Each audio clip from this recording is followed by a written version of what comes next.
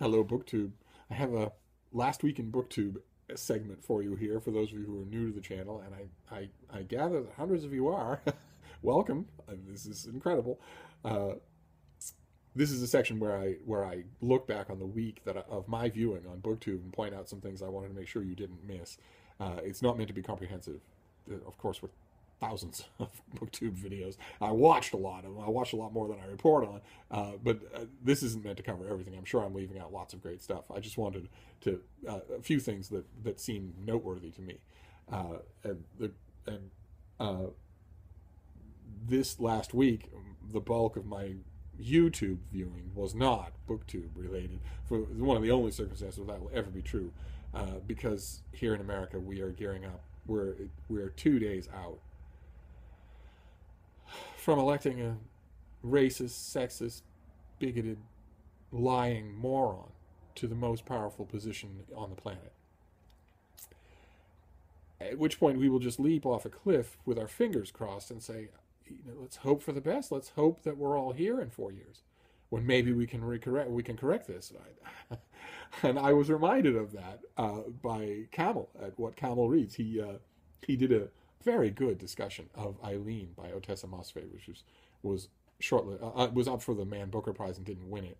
Uh, and it, there's been a lot of discussion about it, and his was really good. And at the beginning of that discussion, he uh, he talked about American sports, and he he did this and said, "That's baseball, right? It's hard. It's hard for me to keep it straight, and it's on my mind because uh, the Chicago Cubs just won the World Series in American baseball, uh, something that they had failed to do in over a century. They had one of the longest losing streaks in the history of the game, and they broke it for this recent World Series, and there was jubilation in the streets of Chicago.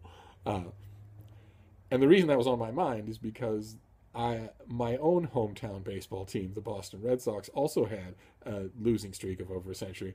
Uh, and broke it in 2004. Won the World Series in 2004. And right after they broke it, George W. Bush was elected to office for what I call the first time because he lost the first time he won and was given it by the Supreme Court. Uh, the second time he won, fair and square. And uh, I don't think it's any exaggeration to say the world is a much worse place for that having happened. And now the Chicago Cubs have broken their curse and well, election day is in two days. uh, uh, but the, when I did watch BookTube last week, uh, there were some themes that ran throughout, and I wanted to, uh, one of those was nonfiction November. I'm starting to see more videos from people joining in with Gemma from Nonfic Books and Olive from a Book Olive about nonfiction November, concentrating a little more, reading a little more nonfiction for November. I, of course, am all over it like marmalade on toast. and uh, I saw more videos like that and made all sorts of notes, that that sort of thing, which was a lot of fun. Uh, and another event, an event that I've, I've also seen videos for, but I haven't participated in. I now I kind of regret it. Maybe I should jump in before it gets much older. Is Shakes Along. And the, the video that I wanted to, to point out to you today, direct you to, is uh, insert literary pun here. Oh, I, again, I look at these channels, these great, sharp, funny, smart channels, and I expect 10,000 subscribers, and I don't see it, but the, the day will come, I am sure. Uh, but her, uh, 10,000 of you should subscribe because her, her discussions are always great, and this one was about Macbeth, and uh, was had some really funny barbs in it. so, so, I'll leave I'll leave a link to this and everything else down below, uh, but it's worth your time to look at. Uh, and uh, Luke Lane reads. I, I don't know if I've recommended his channel here before. It's wonderful, and he did one on a uh, video on collecting most disappointing books, and it was a fantastic discussion and, and in depth too. He's like Adam at Memento Mori. He's he's really good at packing a lot of content into a little space, a gift that some of us don't have. uh, and uh, so, if you don't subscribe to him, you should go and do that. I I was very tempted. I may very well do a disappointing books video of my own, although I don't know that you're ready for a video that would be quite that long. I, I am. It's pretty much my profession. It's pretty much my job to be disappointed by books. Uh, there was another thing I wanted to mention uh, that has to do with this. It has to do with, with QBism. Which is, it's a new book about the future of quantum physics. It's given to me by a very nice publicist at Harvard University Press. At, at, at my behest, because I want to understand more. I want to read in 2017. I want to read more about quantum physics and try to understand a little more about what I'm reading than I already do. And I this book came to me right at the same time that I saw Derek's video at Veritasium. I don't know if you watch his channel, but he did a video on quantum mechanics, and as usual, it was brilliant, just brilliant. I uh, I learned a lot and also was confused a lot, as I am in all of his science videos. so, so I'm leaving the link, even though it's not specifically BookTube related, just because it was fascinating and it links with a book which I intend to uh, consume. uh, and then what have we got here? Oh yes, uh, uh, the Rhodes vlog. Uh, Chris and Giselle Rhodes do a, a daily vlog, uh, and then Chris takes the footage and fusses over it in his perfectionist way, uh, basically forever. and then he posts the results. And last week they, there was a video of with with my girls, my my pointer and the basset hound that is wedged against me right now. Uh, they were they were in the video. They were stars. They were moving around. It was kind of funny. Uh, we went to a library book sale here in Boston. Then we came back to here to to the house and sat for a bit. Uh, it's a little heartbreaking in a way for me, as video of my girls always is, because they're moving around in the first part of the video, and then a minute later, after the edits, a minute later, you can see them on the couch with me, especially Lucy, especially the Pacific, utterly exhausted, and that's true. they are uh, they are not Nanook from Connor's channel. They they barely move at all, and anything tires them out. They're very old, and they're both sick. so uh, it was fun to see them moving around in that video, uh, which captures the library book sale that I think we went to in 1995. Uh, Chris's daily vlog, he's got it all the way up to early 1996. He's he's making great progress. Uh, let's see here. What else have we got? Oh, uh, yes, uh, Max at Well Done Books. He did a wonderful video. I, I'll, I'll, try to remember to link both of them. He did a wonderful video in which he, he publicly shames himself for for books that have been on his TBR forever that he just hasn't got to. I don't I don't know that I'm quite ready for an era of, of auto public shaming. but I thought it was hilarious anyway. But the video of his that I really liked, I just love them. They they seem so pleasingly anachronistic is he didn't uh, he he loves book of the month club the modern iteration of book of the month club. So he did every month he does a video where he shows you their five selections talks about them a little invites you to join shows you what the packaging is like the whole nine yards. I think they're it was the smartest thing they ever did to link up with him. He is pretty much the perfect spokesman for for this sort of thing. Uh, I noticed again that the, the in the current iteration of Book of the Month Club, they stamp their colophon onto the cover of the book. Uh, uh, not just not just the dust jacket, but you take the dust jacket off, the colophon is stamped onto the physical cover of the book. Uh, I think it's interesting. They they have changed over the decades that they've been around. They have changed around constantly the ways in which they put their imprint on a book. You never at Book of the Month Club when you sign up you never get just a copy of the book that you could pick up at a bookstore. It all you can always tell that it's them. Forever and ever, the distinctive the distinctive mark was size. Their books were a little smaller than the print run of, of for the normal book. Now the books are the same size, but they uh, which is probably cheaper, but they have that colophon stamped on them, which uh, might be anathema to book collectors, but it's a very graceful colophon, and uh, it, it's it's a it's a nice look. I I every video that he does where he urges people to give it a try, it, uh, he makes it look great, but you can see this coming, I'm sure. Book of the Month Club has stopped doing nonfiction, which is it breaks my heart. They were once a great boon to historians and biographers because once upon a time they were much more popular than they are now, much more influential than they are now, and you could get a good check from them if you got a deal with them.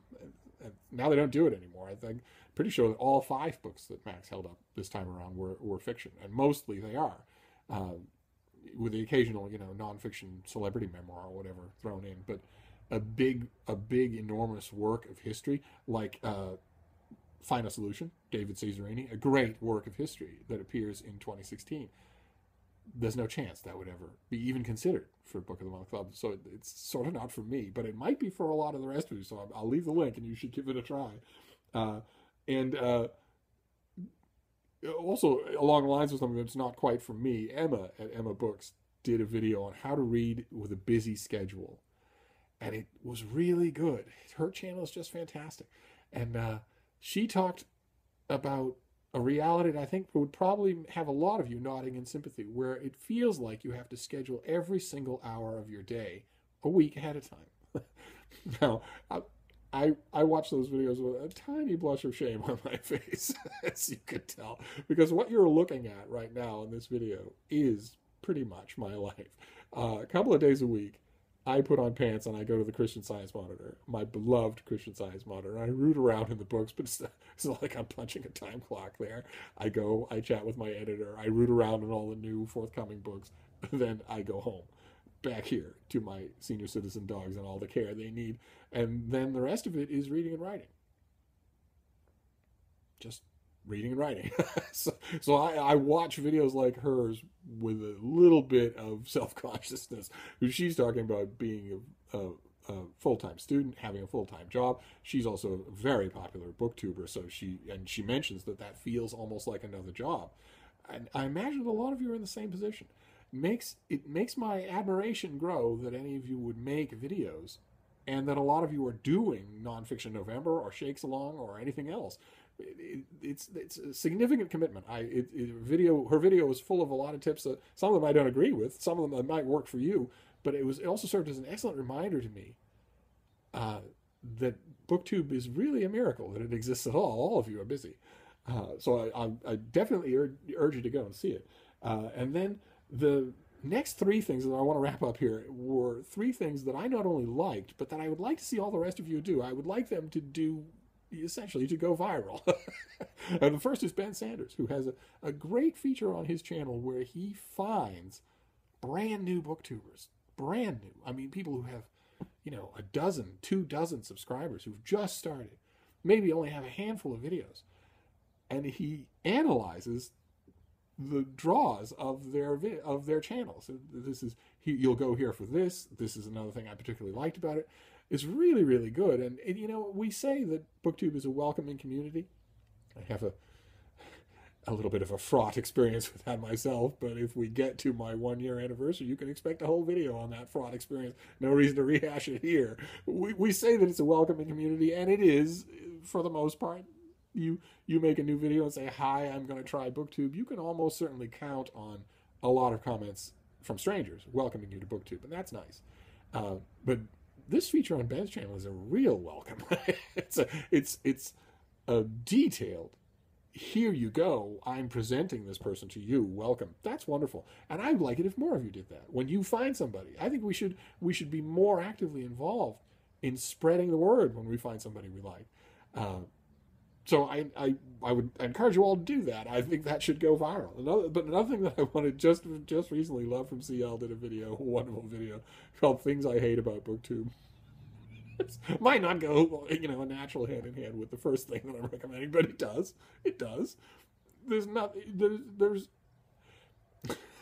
those of you who, uh, those of you who may have grown up in an Irish household will know that is often a mark of great involvement and affection to complain nonstop about something. Sometimes it's the only form of communication. uh, and uh, her video was wonderful. She she listed a few things that I wholeheartedly agree with, a few things I hadn't thought of, and it made me want to see the rest of you do it. It made me made me want to see a raft of videos on what I hate about BookTube. So I'll make you a deal. If the rest of you do it, I'll do it. uh, and the last of these was Sam at Sam's Nonsense. This is something I mentioned in comments before, and I did it myself. She she did a just a quick video in which she gives us a guided tour of her commuter bag not book related, except it's a book where I'm doing it. And that's fascinating for me. And I did it myself, and I want to see the rest of you do it. When you pack a shoulder bag to go out and about in the world, what's in it? I'm just nosy. so if you feel like making that video, by all means do. I would love to see dozens of those. Uh, but the, the main thing I the thing I wanted to wrap up on, the main thing that covered BookTube last week was NaNoWriMo, National Novel Writing Month, where thousands of people get together in the month of November with the intent of writing the big first draft of a novel. There were endless videos, just endless, and it was I've watched them all. I love it so much. This is a, a phenomenon the like of which the world has never seen. Uh, BookTube is too, but with with BookTube in the past, there there it has analogs in the past in book clubs and book societies and even libraries.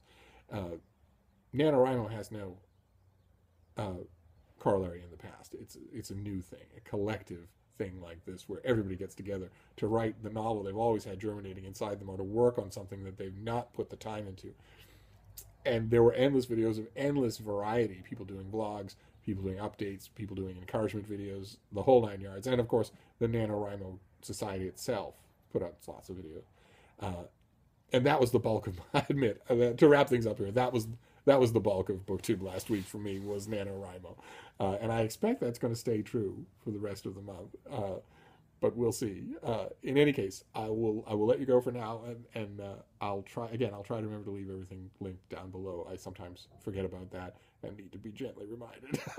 I hope that today's not one of those days. Thank you, BookTube.